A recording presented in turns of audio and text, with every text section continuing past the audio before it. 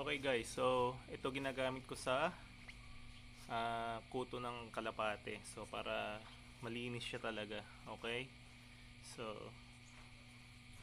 pag may problema kayo sa kuto or whatever na meron sa kalapate, gamitin nyo pirana.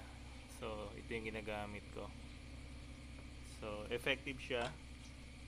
So secondary na lang yung pagpapaligo natin ng wet water para lang mapreskuhan sila pero other than that ah, mas okay to. So ganito lang ginagawa ko.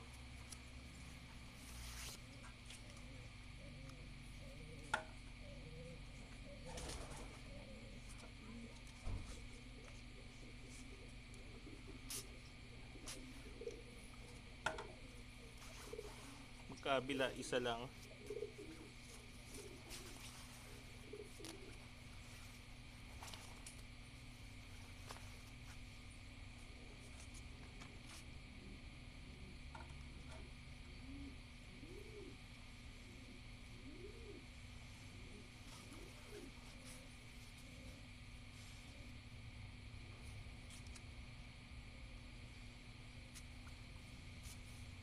tsaka sa puwet. So yun lang ang ginagamit natin.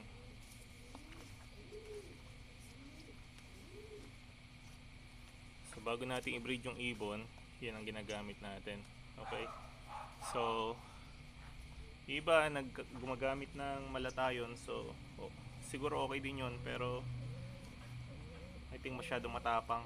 So kasi pag sinok nyo yung kamay nyo kung minsan sa may malatayon ah mahapdi sa kamay what more pa sa kalapate so doon lang tayo sa safe.